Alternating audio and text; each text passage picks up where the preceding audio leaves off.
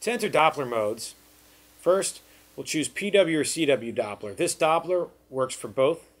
First you'll hit Doppler. If you had CW Doppler with a sector probe attached, CW would show up. But for now, we hit Doppler and it's going to give me PW Doppler. Here we would change the angle for correction, change the gate size, and here's another for angle correction and steering. When we're ready to go into Doppler, we're going to click Update. And here we can change our scale, move up or down the baseline, invert it, change the volume, change our wall filter, go to page 2, here's our sweep speed, and our trace choices.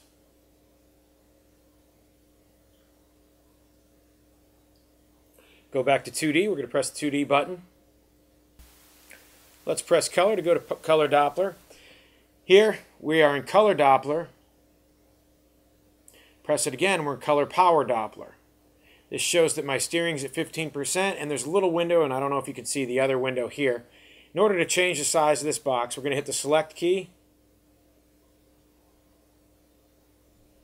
We'll change the size of the box. We'll hit select again and it allows us to move the position. And change the size hit select.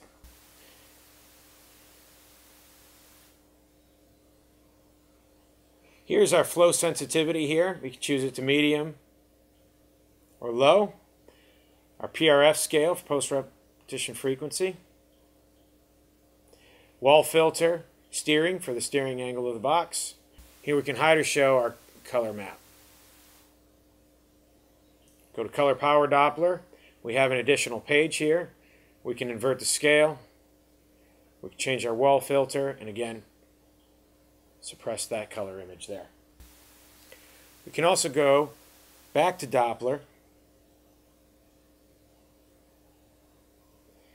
and add our pulse wave Doppler and hit update. Can update to update our 2D image here.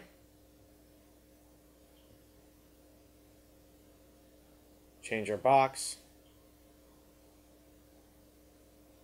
click update again. And that's how we're going to do our duplex imaging. And that's the Doppler modes on the Sonosite Edge. Next we'll get into system setup and customization.